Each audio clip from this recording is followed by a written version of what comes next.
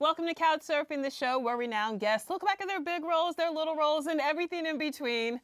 I'm here with Danny DeVito. Danny, hi. Hey, let's do it. Let's do it. Let's see what's on. Let's couch surf.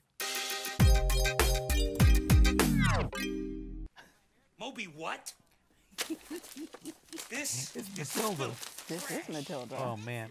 You directed, Yeah, I- produced, Yes. starred in it. Yes. You wore Well- all the hats. Well, my kids were like starting to read regular books rather than picture books, and and one day, the girls brought this book in, uh, Matilda by Roald Dahl, and I had never heard of it. I didn't know anything about it, and we started reading the chapter books. They loved it so much, and then I, you know, went after the project to try to get to direct it, and I had so much fun on this movie. And Mara was brilliant. I mean, so I'm sure a million girls auditioned for this or wanted this role. How did No, you I'll know that you Mara was your. Matilda? My biggest hunt was for Miss Honey and the Trunchbull.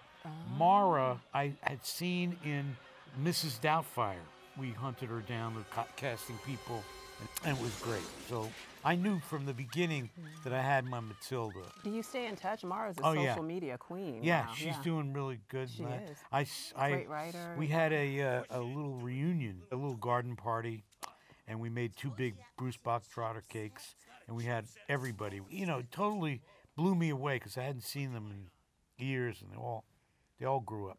It was really great.